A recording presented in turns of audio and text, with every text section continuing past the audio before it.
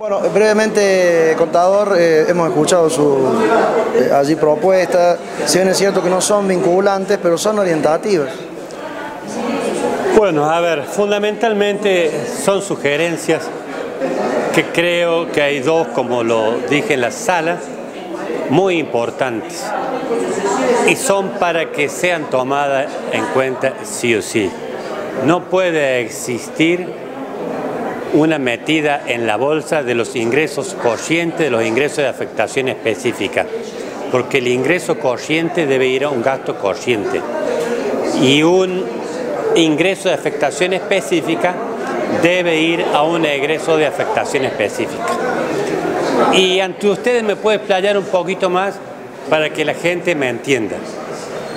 Si el gobierno provincial o nacional manda, envía 5 millones de pesos para cloacas, eso es un ingreso de afectación específica y debe ser volcado a cloacas.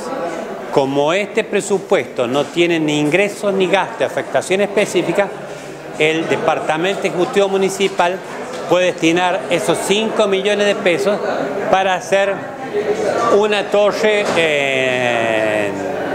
del balneario municipal, puede decir algo, ¿no es cierto? Entonces debe respetar el destino del dinero.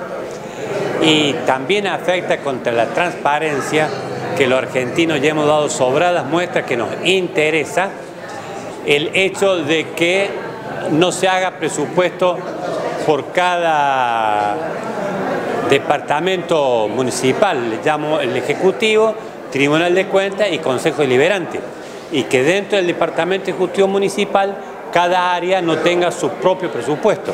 Es decir, que un jefe de área, un director de área, un secretario de área no sabe con los recursos que puede disponer.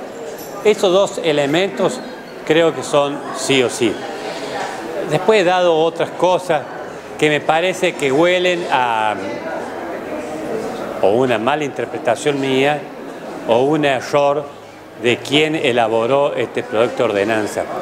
No podemos grabar a una universidad privada siendo la única que hay. Es decir, si el alumno en Deanfune, una vez que termine el secundario, tiene sí o sí que quedarse en Deanfune porque no puede pagar su estadía en Córdoba, es decir, va a caer a una universidad un poquito más cara porque el Departamento Ejecutivo Municipal le está grabando. Lo mismo el caso de los servicios de autos remises para la gente discapacitada. Existe una ley nacional, una ley provincial. El municipio adherido a esa ley nacional que le da un sinnúmero de beneficios a los discapacitados, entre ellos libre estacionamiento, entre ellos no pagar peaje, etcétera, etcétera.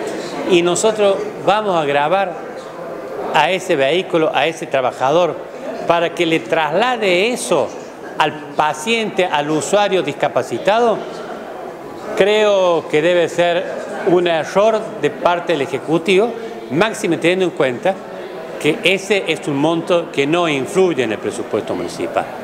Y después es necesario que se dé el significado correcto a cada uno de los rubros que están planteados ahí porque en muchos casos se presentan muchísimas dudas, como lo dije en la sala. No, gracias a vos, Ruli. Buenas noches a todos.